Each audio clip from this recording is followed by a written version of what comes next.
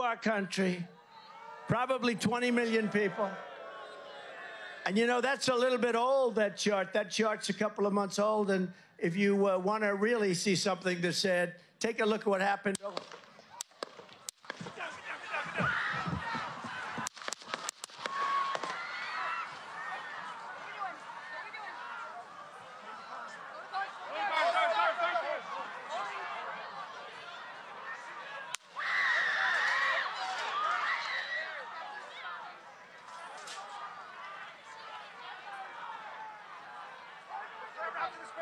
Moving his spear. Hold, hold. When you're ready. On you. Ready? Move. Up. Move. Go. Hawkeye's here. Hawkeye's here, move it to the spare. Spare, get ready. Spare, get ready. We ready? Down. Down. Shooter down. Are we good? Shooter down. Shooters down. Are we good to move? Down. We good to move. Clear. We're Let's clear. move, We're clear. let's move. We're clear.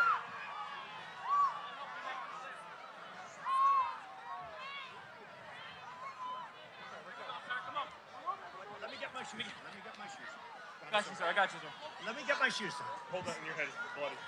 So we gotta move to the bus. Move to the bus. Let me get my shoes. Okay, my shoes down. My shoe. Watch out. Wait, wait, wait.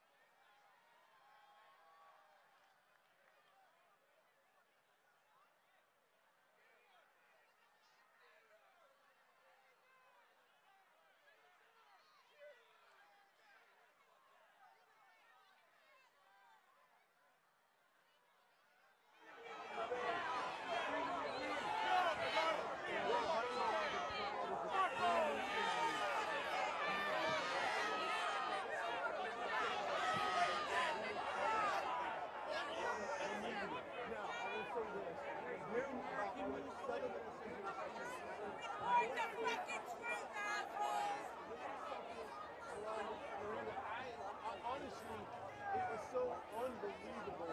I, I didn't, this was like, I, like, I never had, but all of a sudden, in front of the podium, uh, with some kind of You weren't inside the event, nope. but you were just outside. Tell us what you saw and what. So, so we had a party here all day. Uh, you can see behind us at the, the Brinkles Farming Greenhouse here. We had a party, um, and we all decided, hey, you know, when, when we hear Trump up there, we're going to walk up through the field, stand by the trees up there under the shade, and watch the, and listen to the rally. Right? We couldn't see him, but we could hear him. So we walked up, and probably five to seven minutes of Trump speaking. I'm estimating here. I have no idea, you know, but um, we noticed a guy crawling, arm, you know, bear crawling up the roof of the building beside us, 50, 50 feet away from us. So we're standing there, and, you know, we're pointing, we're pointing at the guy crawling up the roof. And he had a gun, right? He had a rifle. A rifle. We could clearly see him with a rifle. Absolutely. Um, we're pointing at him. The police are down there running around on the ground. We're like, hey, man, there's a guy on the roof with a rifle. And the police were like, huh, what? You know, like, like they didn't know what was going on. You know, we're like, hey, right here on the roof. We can see him from right here. We see him. You know, he's, he's crawling. And next thing you know, I'm like, I'm thinking to myself, I'm like, why is Trump still speaking? Why have they not pulled him off the stage? I'm standing there pointing at him for, you know, two or three minutes. Secret Service is looking at us from the top of the barn. I'm pointing at that roof, just standing there like this. And next thing you know, five shots ring out. So you're, you're that the shots came from that guy on the roof? 100%. Hundred percent. And he, he was up there for a couple of minutes. He was up you there- saw him up there for a couple of minutes. Absolutely. At least three You to were- four minutes. And you were telling Yep. the police and the Secret Service. We were telling the police, we were pointing at them for the Secret Service, who were looking at us from the top of the barn. They were looking at us the whole time when we were standing by that tree. Could they see him? Binoculars. Could they see him? Probably not, because the roof, the way the, the slope went, he was behind where they could see. But, but why is there not Secret Service on all of these roofs here? I mean, this is not a big place. Did you see? I mean, obviously, everyone when the shooting started, everyone was very panicked. Did, Oh, you, did you see what happened to him at all? Oh yeah, they blew his head off. Okay, sorry. Secret Service blew his head off. Okay, just be careful because well, uh, we don't quite know who's watching, but you, you're pretty sure they, they, they shot the guy. Absolutely, 100%. Okay. Yep, You, you saw that happen? yep, yep. Okay. Yep. And did you see them go up to him afterwards, or? They, yeah, they crawled up on the roof. They had their guns pointed at him, make sure he was dead. He was dead, and that was it. It was over. It's incredibly The guy was on the roof right there. You can see the white roof right there. Did you get a look at him? Could you? I, I no, other than he was in muted colors, tan type clothing. We saw the rifle flinging around as he was trying to crawl. I mean, we saw the rifle, 100%. Do you I mean, do you know about guns? Do you know what kind of weapon it was? Oh, I absolutely know about guns for sure. No, I mean, it's a, it's a rifle of some sort. I wouldn't know, you know, I wasn't close enough to read the label on it, No, but, sure. But it, I was was a, it was a rifle of some sort. Yeah, absolutely. So, what, what do you? How do you process what you've just seen? I, I don't know what to say, man. All I'll tell you is, you know, if I if I walked up close to there with anything that can, Secret Service considered a, a, a problem, I wouldn't be standing here talking to you right now. But I don't know why a guy who we're standing there pointing out to police and Secret Service is crawling up the roof.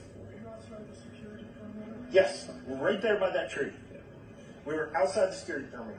But my question is, there's only a few buildings around here. Why is Secret Service not on every building here? There's a whole bunch of questions. I think that are going to come. There's a whole bunch of questions. Yeah.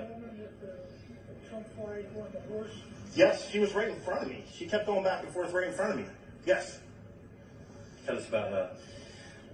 I mean, nice horse, nice lady running with a flag. Seemed very, you know, patriotic. But what, what's what's the significance of her? No, she just he asked me if I saw a horse. Okay. Okay. All right. Well, listen. I'm sorry you had to witness that. That was a terrible thing. And uh, you just stay safe with your family and uh, Gotcha. yourself. Um, thanks for your Gotcha, time. We do have a statement from the Secret Service at this time, and I want to share it with everyone who's tuning in at this hour. Um, the Secret Service is saying today in Butler, Pennsylvania, at approximately 6:15 p.m., a suspected shooter fired multiple shots.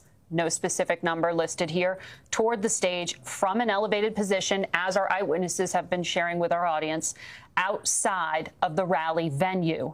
The Secret Service personnel neutralized the shooter, who's now deceased. Secret Service quickly responded with protective measures, and former President Trump is safe. One spectator was killed, as we've been reporting, and two spectators were critically injured.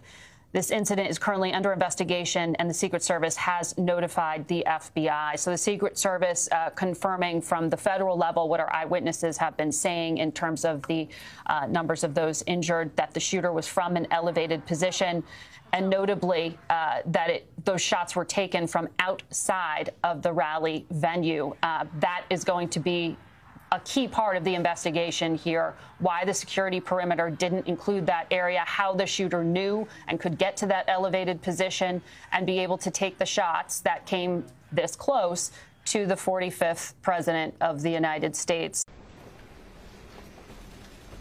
Thanks for coming, folks. I've been thoroughly briefed by all the agencies in the federal government as to the situation, based on what we know now.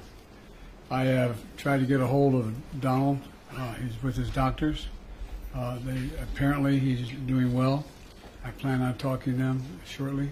I hope when I get back to the uh, telephone. Look, there's no place in America for this kind of violence. It's sick. It's sick. It's one of the reasons why we have to unite this country.